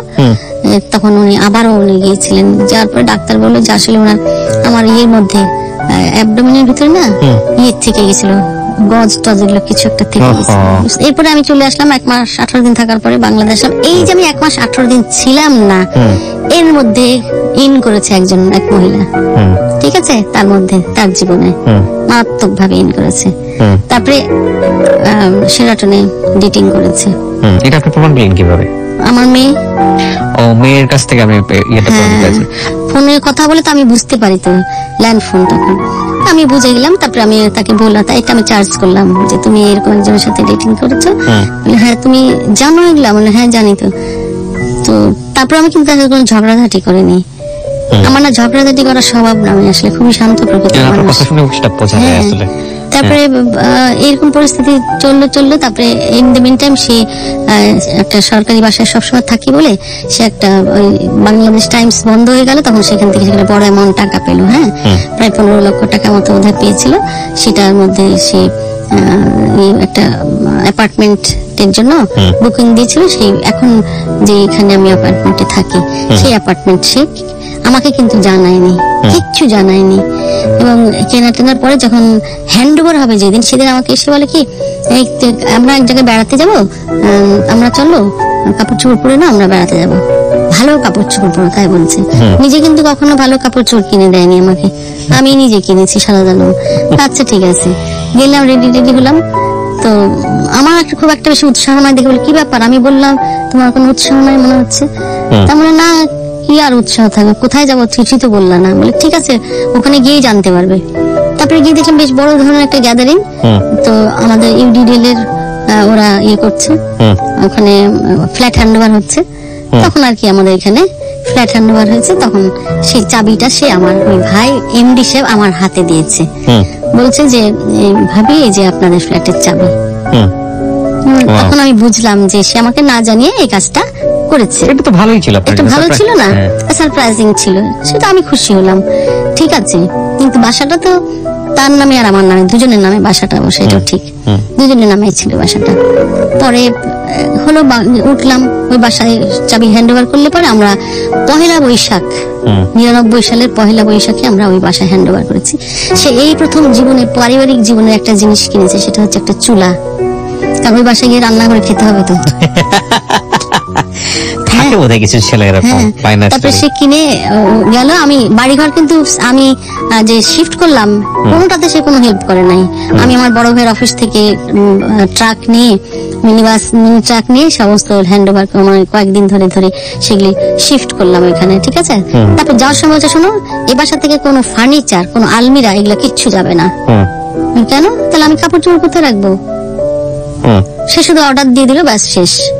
তখন আমি কি করলাম? আমি আবার একটা প্রাইভেট কলেজ চালাই সেই কলেজের গভর্নিং বডি মেম্বার আমি তাকে সেখানে একটা আলমারি দিয়ে দিলাম। দুটো আলমারি দিয়ে দিলাম জানেন? একটা আলমারি আমার ভাইয়ের দিকে রাজশাহীতে পাঠিয়ে দিলাম একটা কলেজে দিয়ে দিলাম। এবং বিনা আলমারিতে আমি ওই বাসে উঠে গেলাম। আমি ভাবছি ওখানে গিয়ে নতুন আলমারি আমাকে কিনে দেবে? সেটা চিন্তা করে আমি কিনি নাই। তারপরে পোটলাই করে সমস্ত কাপড় চোপড় জিনিসপত্র নিয়ে চলে গেলাম ওই বাসায়। এবং শুধুমাত্র বিছানাটা গেল আমাদের। দুটো বিছানা ছিল আমার মেয়ের একটা বিছানা একটা আমাদের বিছানা। এই দুটো বিছানা গেল। কাজের লোক ছিল দুজন। তারা সহ আমরা বাড়িতে চলে গেলাম। ওখানে যাওয়ার পরে পরবর্তী পর্যায়ে এমন একটা পরিস্থিতি যে প্রায় শেষে একদম উদাসীন মানে মারাত্মক ভাবে ওই বাড়িতে যাওয়ার পর থেকে একদম ডেসপারেট হয়ে গেল একদম অন্যরকম।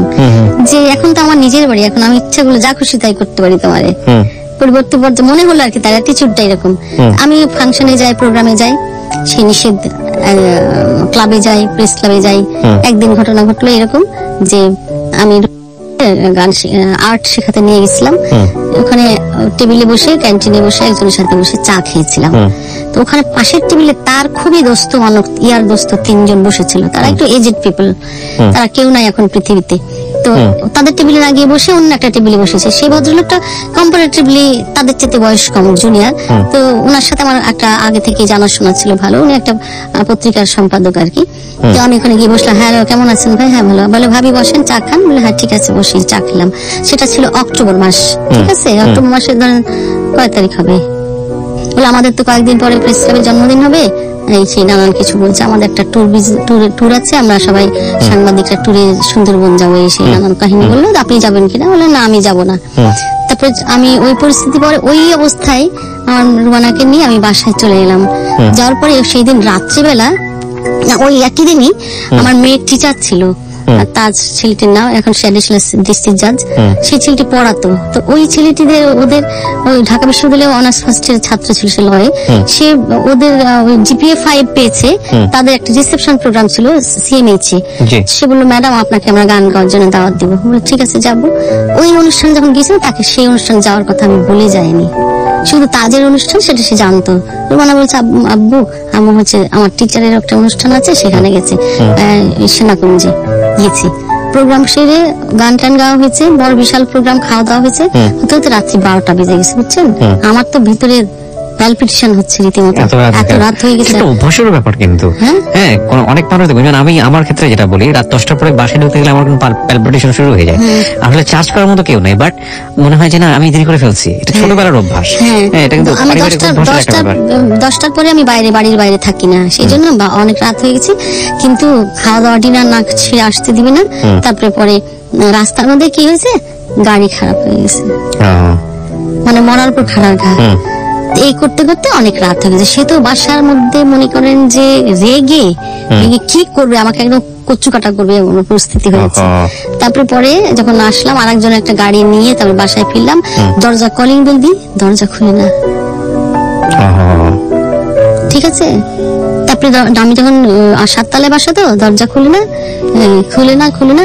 তখন সে খুলতে দিবে না কাজের মেয়েদেরকে বলছে এই খবরদার দরজা খুলবি না। হ্যাঁ দরজা খুলবে না। হ্যাঁ। সে বাইরেই থাকুক। মানে আমি বলতে পারব না একটা মিরাকল ব্যাপার যে আমি বেঁচে গেছি এখন বেঁচে আছি আমি। কারণ তার মতো এরকম লম্বা চওড়া ফিগারের লোক আমাকে যদি ধরে আমাকে আমি তো কিছুই করতে পারতাম না। আসলে সৃষ্টিকর্তার হুকুম আছে যে আমি বাঁচবো সেই জন্য হয়েছে নাহলে তো বাঁচার কথা না। তারপরে এরকম পরিস্থিতি হয়ে গেল তারপরে সমস্ত শরীর ক্লট চোখের ক্লট বেঁধে গেল তারপরে ঠোঁট এরকম উঁচু হয়ে গেল ফেটে রক্ত ইয়ে হচ্ছে সাংঘাতিক খারাপ অবস্থা। পরে আমি আমার মেয়ের যেখানে রুম ঘুমাই সেখানে মেয়ের রুমে আমি চলে গিয়ে দরজা লক করে দিলাম। তো মেয়ের দরজা লক ছিল দরজা খুলতে বলেছি চলে তো মেয়ে দেখে তো ইয়ে চমকাই গেছে। ঠিক আছে? যে কি অবস্থা, এরকম কেন কেন এরকম হয়েছে? কি হয়েছে? আর তোমার আব্বু আমাকে মেরেছে। আর আমার মেয়েকে বল- কি বলব? কীভাবে রিয়াক্ট করল? কি বলো তুমি? হ্যাঁ তারপরে সে আমি ওই ঘরে থেকে গেলাম, আমার তারপরে সে পরিস্থিতি তো খুব ভয়ঙ্কর। তারপরে আমি আমার ভাইকে ফোন দিলাম। সেই সময়টাতে আমার ভাবি মেজো ভাবি ছিল না। দার্জিলিং গেছিল বেড়াতে। টাইমটা ছিল অক্টোবর মাসের এগারো তারিখ। এবার আমার মনে হয়েছে এগারোই অক্টোবর প্রোগ্রাম ছিল সেনাগঞ্জে সেদিন রাতের ঘটনাটা এটা ছিল। ঠিক আছে? তারপরে ভাইকে বললাম ভাই আমার এসে দেখল আমার একটা বন্ধু ছিল ম্যাজিস্ট্রেট তাকে বললাম মন্ত্রী পিএস ছিল তাকে যে ডাকলাম যে বল কি করব সে আমার ক্লাসমেট ছিল তো বললে কি শোনো দোস্ত তুমি যদি সংসার করতে চাও তাহলে কিছুই করো না আর যদি তুমি সংসার না করতে চাও তাহলে অনেক কিছু করতে পারবা।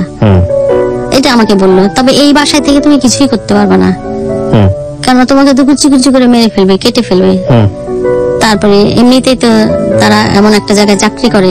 তাদের তাদের পেশাগত কারণে তারা মানুষের কাছে অনেক বেশি প্রিভিলেজড তো সুতরাং তুমি কি করবে চিন্তা করো।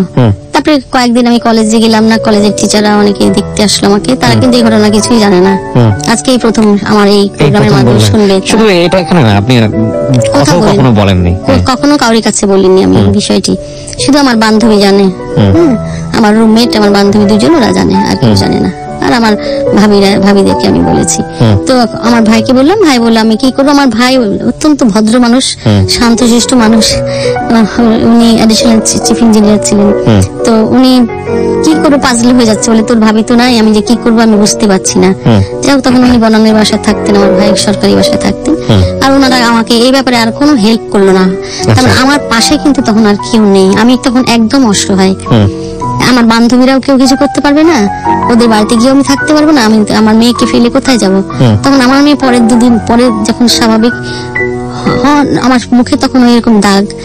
বলে মা একটা কথা বলি। চলো না আমরা চলে যাই এখান থেকে। আমি এই কথাটা বলব না কখনো। তুমি এই লোকের সাথে কেন থাকছো? চলো আমরা চলে যাই এখান থেকে। এই এই চলতে থাকল এরকম চলতে থাকল। এই যে আমি ঘর থেকে বেরিয়ে আসলাম না জানেন? আজও বেরিয়েছি কালো বেরিয়েছি। আজকে আর কখনো আমি সেই ঘরে ফিরিনি। কিন্তু আমি ওই একই বাড়িতে আমার বসবাস করতে হচ্ছে বিকজ অফ মাই ডটার হ্যাঁ আমি বললাম যে, বাবা, আমি যদি চলে যাই, তখন পরবর্তী পর্যায়ে তুমি বলবা যে, তোমার সাথে ঝগড়া হওয়ার কারণে আমি আমার বাবা থেকে বঞ্চিত হয়েছি। এই কথাটা তুমি হয়তো আমাকে বলবে। আমি ওকে, ওর তার আদর স্নেহ, ভালোবাসা থেকে আমি তাকে বঞ্চিত করতে চাইনি বলে আমি স্যাক্রিফাইস করেছি তার জন্য। আমার মেয়ের জন্য কিন্তু আমি পুরো জিনিসটা স্যাক্রিফাইস করেছি, জানেন? আরও একটা কারণে আমি স্যাক্রিফাইস করেছি, সেটা হচ্ছে যে আমি ছোটবেলা থেকে খুব স্পিরিচুয়াল ছিলাম। আল্লাহ খোদা, মানা, কোরআন পড়া এগুলি নামাজ পড়া, রোজা রাখা, এগুলি খুবই ব্যাপারে আমি খুবই পারদর্শী। তো মায়ের সাথে আমি বীজের রোজা রাখা এগুলি করতাম। তো খুবই আধ্যাত্মিক একটা চেতনা ছিল আমার মাঝে, মধ্যে। তো সেইখান থেকে আমি পড়েছি, কোরআনের আছে একটি সুরের আয়াতে আছে, একশো সাতাশ নম্বর আয়াত বলছে যে যে তুমি যদি তোমার স্বামীর সাথে বনিবনা নাও হয়, তাহলে তুমি এমন একটা ব্যবস্থা করে নাও যেন তার সাথে আমার সেপারেশন থাকবে। কিন্তু আল্লাহ যে কাজটি সবচেয়ে ধরেন হালাল বিষয় তালাক সেটাকে খুব অপছন্দ করে। হালালের মধ্যে সবচাইতে নিচু স্তরের নিচু স্তরে। তো আমি আল্লাহকে ভালোবাসি। এটা আরও মজার আরও আরও অনেক বিষয় আমি ভালোবাসি। মানে এই জন্য আমি হ্যাঁ। এবং আমি শয়তানকে পাত্তা না দিয়ে আমি আল্লাহকে ভালোবেসে আমি থেকে গেলাম। আমি বললাম না আল্লাহ যে কাজটা আল্লাহ পছন্দ করে না সেই কাজটা আমি করব। আর আল্লাহ যে বলেছে তুমি অন্যের দোষ গোপন করো তাহলে আমি তোমার দোষ গোপন করব। তাহলে আমি তার কোনো কথা কাউকে বলব না। এই জন্য আমি কাউকে বলিনি। এবং আমি বিশ্বাস করি যে তার জায়গা থেকে বলার থাকলে হয়তো সে অনেক কিছু বলতে পারতো আপনাকে নিয়ে। হ্যাঁ, কনজুগাল লাইফ হ্যাঁ, আমরা আসলে ওই জিনিসটাকে ফোকাস করতে চাই না। আমার ফোকাসের জায়গাটা হচ্ছে অন্য জায়গাটা। না আমি আমি এরপরে দেখেন এই যে আমি এইভাবে কাজ এইভাবে শুরু করলাম। আমি ধরেন কলেজে বদরুসা কলেজে জয়েন করেছি লেকচার হিসেবে assistant professor associate professor then professor ছাব্বিশ বছর আমি বদরুসা কলেজে এক নাগারে থেকেছি। আপনার তো অসংখ্য শিক্ষার্থী তাহলে। আমার অনেক শিক্ষার্থী তেত্রিশ বছর আমি চাকরি করেছি। এবং আমার ছাত্রছাত্রীরা এখন বিশ্ববিদ্যালয়ের প্রফেসর তারপরে কেউ কেউ জয়েন্ট সেক্রেটারি ডেপুটি সেক্রেটারি। সংঘ রয়েছে বিভিন্ন জায়গায় সংগীত শিল্পী রয়েছে। এখন ছাত্র তো প্রচুর আছে তারপরে পরবর্তী পর্যায়ে যখন আমি নাইমে ডিরেক্টর হিসেবে গেলাম তখন আবার পরে পরবর্তী পর্যায়ে প্রিন্সিপাল হোম ইকোনমিক্স কলেজের প্রিন্সিপাল হলাম। তখন তখন আমার অসংখ্য ছাত্রী এখান থেকে অর্থাৎ আমি যে যেখানে থেকেছি খুব পজিটিভলি কাজ করেছি। অর্থাৎ মেয়েদের প্রতিষ্ঠানে কাজ করেছি। আমি বদরুল মেয়েদের প্রতিষ্ঠান হোম ইকোনমিক্স মেয়েদের প্রতিষ্ঠান। মেয়েদের কি কি সমস্যা? সেই বিষয়গুলি আমি সবসময়ের জন্য নজরে রেখেছি এবং সেটা মিটমাট করার চেষ্টা করেছি এবং মেয়েদেরকে সবসময় ক্লাসের লেকচারের পাশাপাশি আমি বলেছি শোনো বিয়ে করবে এমন একজনকে বিয়ে করবে যে তোমাকে খাওয়াতে পড়াতে পারে কিন্তু তোমাকে আত্মনির্ভরশীল হতে হবে। নিজে চাকরি করতে হবে অথবা ব্যবসা করতে হবে. আর সবসময়ের জন্য দ্বিতীয় কথা হচ্ছে তুমি যে বিয়ে করবে তখন চাকরি করবে সে চাকরি করে যে টাকা সেই টাকাটা তুমি ব্যাংকে জমা রাখবে। পাঁচ হাজার বেতন পেলে মিনিমাম দুই হাজার টাকা তুমি রাখবে তিন হাজার টাকা সংসার তোমার বাপকে বাবা বাবাকে স্বামীকে বা সন্তানকে দিবে। সঞ্চয় তুমি সবসময় করবে। সঞ্চয় তোমাকে কিন্তু অনেকখানি সাহস যোগাবে। নাহলে তোমাকে আসলে কোনো লাভ নেই। হ্যান্ড টু মাউথ করে কোনো লাভ নাই। তোমাকে সঞ্চয় করতেই হবে। আমি কিন্তু ক্লাসে আমার মেয়েদেরকে এইভাবে উদ্বুদ্ধ করি ক্লাসে এবং মেয়েদেরকে আমি ইয়ের মাধ্যমে কত হাঙ্গার প্রজেক্টের মাধ্যমে মেয়েদেরকে এনিমেটার তৈরি করেছি। আমি নিজে একজন ক্যাটালিস্ট এনিমেটার আমি একজন আমি টপ ট্রেনিং করেছি। নিজে কিন্তু অসংখ্য ট্রেনিং করেছি দেশে বিদেশে ট্রেনিং করেছি আমি। করার পরে দেখুন যেমন ধরেন আমার মূল মোটিভ এখন আমার জীবনে ওই যে আমাকে আমি আমার মেয়ের জন্য থেকে গেলাম স্যাক্রিফাইস করলাম। তখন আমি এই করতে করতে করতে তারপরে আমার মেয়ে যখন একটু বড় হলো ও লেভেল পরীক্ষা দিল ঠিক আছে? কিন্তু এই যে আমাদের মাঝে যে মনোমালিন্য ভাব আমরা তো কথা বলি না। আজকে উনিশ বছর বিশ বছর হয়ে গেলাম একদিনও কথা বলিনি আমি ঠিক আছে? সেও কথা বলে না এবং সে সেটা মনে করে না যে কথা বলতে হবে। মেয়েটা মারা গেল তারপর সে আমার সাথে কথা বলে বলেন? মারা গেল কীভাবে? আমার মেয়েকে তো মেরে ফেলা হলো। মেরে ফেলা হলো মানে? বলতে হবে মেরে ফেলাই তো বলব। কারণ সে যখন চাইছে যে বাবা মার মধ্যে মিল মিশুক কিংবা সে দাদিকে বলছে মামাদেরকে বলছে সবাইকে বলছে আমার বাবা মার মধ্যে একটু ঠিক করে দাও তোমরা কেউ কিছু করল না। তখন সে নিজে হয়তো বা সুইসাইড করল হয়তো বা তাকে কেউ মেরে ফেলল। যে কোনো কিছু হতে পারে সে পোস্টমর্টম করল না আপনি জানেন? আমাকে গুরুত্ব দিল না। আমরা সবাই বলেছিলাম সে পোস্টমর্টম করল না কারণ পোস্টমর্টম করলে জানা যাবে সে তাকে মেরে ফেলা হলো নাকি সে সুইসাইড করল। সুইসাইড করল। মানে আলটিমেটলি কেস ছিল সুইসাইড সবাই জানতো সুইসাইড কিন্তু না কেউ জানতো না। মানে পত্রপত্রিকা সে এমন ভাবে ফলাও করে দিল যে আমার মেয়ে ছাদে ঘুরছিল ঘুরতে ঘুরতে হঠাৎ পড়ে গেছে সে পড়ে গিয়ে মারা গেছে। কিন্তু ঘাড়ে ছাদের তো রেলিং ছিল তার তো পড়ার কথা না। কিন্তু সে ছাদের রেলিং এ বসতো প্রায় মাঝে মাঝে বসতো আমি নিজেও দেখেছি। বসতো কিন্তু আমি কিন্তু একদম এই ব্যাপারে একেবারেই আল্লাহ সবচেয়ে ভালো জানেন যে সে কি করেছে আসলে। ঘটনাটা কি ঘটেছে? এই যে আমার মেয়ে মারা ইনসিডেন্ট ছিল ছাদের রেলিং থেকে পড়ে ছাদ থেকে পড়ে যাওয়া ইনসিডেন্ট পত্রপত্রিকা দেখেছেন আপনারা? তারপরে এই যে মেয়ের জন্য কিন্তু আমি স্যাক্রিফাইস করে থেকে গেলাম এখানে। আজ আছি কাল আছি এরপরে আমার মেয়ে মানে যখন বিষয়টা কি আপনারা একসঙ্গে থাকতেন কিন্তু কোনো কথা বলতেন না? না এখন আমরা এক বাসায় থাকি। এখন একবার তেমন কথা বলেন না? না আমার প্রয়োজন পড়ে না। আমার কাজের লোক আছে দুজন তারা রান্না বান্না করে টেবিলে দেয় খাবার দাবার। মানে আমি আলাদা করে বাজার করি আমার বাজার আলাদা করি আমি নিজে এবং আমি আর আলাদা কাজের লোক আমার আমি আমার মতো থাকি। কারণ না তার পরিবারের কেউ এই ব্যাপারে তাকে বলেনি সে বলছে না আমি দু একজন হয়তো বলেছে তার বন্ধু বান্ধব বলেছে না আমি এটা কম্প্রোমাইজ করতে চাই না। ঠিক আছে? এটা তো নিজেদেরকে বিশাল পেনাল্টি দেওয়া। হ্যাঁ আমি কিন্তু আমি কিন্তু ইয়ে- সে কিন্তু আমি তো থানায় গেছি থানাকে যখন জিডি করতে গেছিলাম তখন উনি বলল যে ম্যাডাম তখন কিন্তু আমি নাইমে তখন আমি প্রফেসর ইয়েতে বদরুসা কলেজে তো আমি এই কাজটা করিনি বলিনি সবার কাছে কেন বলিনি? থানায় কেস করিনি এগুলো করলে তো তার সাত বছর জেল হয়ে যেত। তাহলে কি তার জীবনটা নষ্ট হয়ে যেত খারাপ হতো?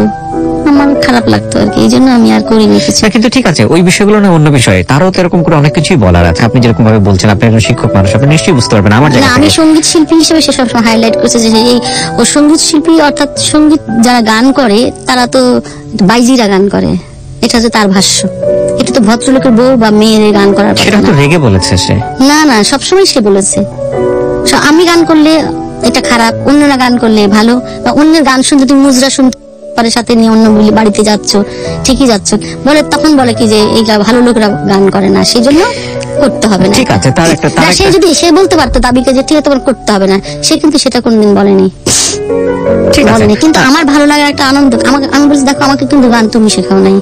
আমি সেই দুই বছর বয়স থেকে গান করেছি। আমি চার বছর বয়স থেকে রেডিওতে গান করেছি ছয় বছর বয়স থেকে তারপরে টেলিভিশনে গান করেছি চলচ্চিত্রে গান করেছি বিশটা চলচ্চিত্রে গান করেছি আমি। ঠিক আছে ইনসিডেন্টগুলো নিয়ে আমি আমি জানি ইনসিডেন্টগুলো নিয়ে যদি আপনি কথা বলতে শুরু করেন এটা অসংখ্য ইনসিডেন্ট আসবে বিশ বছরের কনজুগাল লাইফে হ্যাঁ। এটা ওনার জায়গা থেকেও সত্য। ওনাকে উনি যা বলবে সেটাও সত্য আমি যেটা বলব সেটাও সত্য। এই দুই সত্য পাশাপাশি দেখে দুই সত্যের মধ্যে একটা বিস্তর তফাৎ। তফাৎ আছে। মূলত হচ্ছে আপনি আপনার জায়গা থেকে ওনার সাথে ম্যাচ করেননি উনি ওনার জায়গা থেকে ম্যাচ করেননি। দুইজনে দুজনের জায়গায় সত্য। কিন্তু কথা হচ্ছে যে একটা প্রাণ চলে যাওয়া সেটা একটা ইনসিডেন্ট হোক বা যেটাই হোক না কেন হয়েছে।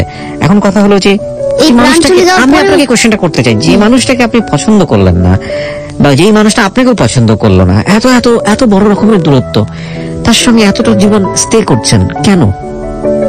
কি জানি ওই যে ওই কথাটাই ভেবে যে আবার আমি একজনকে তালাক দিয়ে চলে যাব এটা খারাপ আপনার আপনার জীবনেও আছে ওনার জীবনেও আছে হ্যাঁ প্রথম জীবনে। হ্যাঁ সেখানে তাকে তার ওয়াইফ তালাক দিয়ে চলে গেছিল আমি আমার একজনকে তালাক দিয়েছিলাম। কেন দিয়েছিলাম?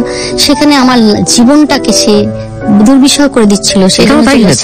এখানে দুর্বিষহ করলেও করলেও যে আমি ইনকাম করি আমি কোনো কিছু করি আমার টাকা পয়সা এগুলো খোঁজ- খবর কিন্তু সে কখনো নেয় না। মানে ভালো গুণ আছে। হ্যাঁ তা তো অবশ্যই। ভালো গুণ আছে মানে কি, সে তো very much to his work তার প্রফেশনে সে মারাত্মক এনিওয়ে তো সেখানে তার তো ভালো গুণ আছে, অবশ্যই ভালো গুণ আছে যে সে আমার কাছ থেকে কোনো টাকা পয়সা হিসাব নিকাশ নিত না। যে তুমি কয় টাকা রোজগার করে সে। তবে আমি যদি কখনো টাকা চাইতাম, বলো, কি করবা টাকা? তো আমি বললাম, কেন? আমার এখন এই মুহূর্তে ব্যাগে টাকা না আমি তোমার কাছে একটু টাকা চাই কলেজে যাব জন্য। তো আমাকে একটু পৌঁছে দাও। না, আমি পৌঁছে দিতে পারব না। তুমি এত কাজ নিজে করতে পারো। নিজে নিজে কলেজে যেতে পারো না সে তো যাইতেই পারি। আমার কাছে টাকা নেই তো তাই প্লিজ আমি একটা প্রশ্ন আপনাকে করতে চাই যেহেতু তুমি তার কিছু ভালো গুণের কথা বলছেন। সেটা হলো যে আপনি যেটা বললেন সবই ঠিক আছে তাহলে সে তো চাইলেই পারতো অন্য কারোর সঙ্গে সংসার করতে। এথিক্যাল জায়গা থেকে যদি না আমি তো করলে আপনার সঙ্গে কীভাবে থাকে? ভেতরে আর অনেক ঘটনা আছে। না আমি ঘটনা যেতে চাই না। হ্যাঁ। যে মানুষটাকে আমি পছন্দই করি না সে মানুষের সঙ্গে আমি একবারই থেকে আমার কথা হচ্ছে তাই। তুমি যখন পছন্দ করো না তো সবাই বলে পছন্দ করে? না তালাক দিয়ে দাও। না সে বলে যে আমি সে আমি সে তালাক দিলে যদি আমি তার প্রপার্টি চাই সে তার তো এখন অসংখ্য অনেক প্রপার্টির মালিক সে এখন। তার কিছুই ছিল না যখন বিয়ে হয়েছিল। পাঁচ হাজার টাকাও ছিল না ব্যাংকে।